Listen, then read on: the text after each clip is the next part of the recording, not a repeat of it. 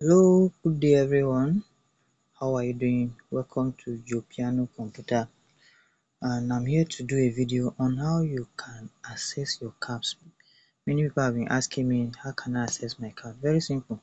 Just click on your browser then go to um that is your JAMB CAPS how you can access your JAMB CAPS then type on your web address www.jamb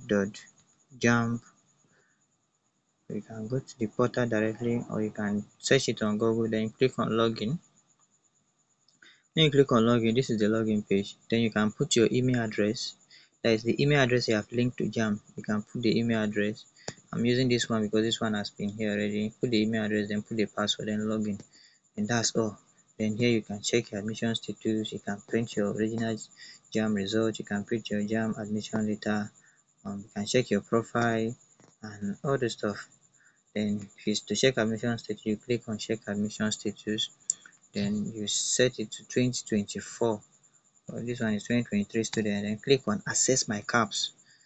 Then to take you to your caps then you can now click on check admission status regular admission.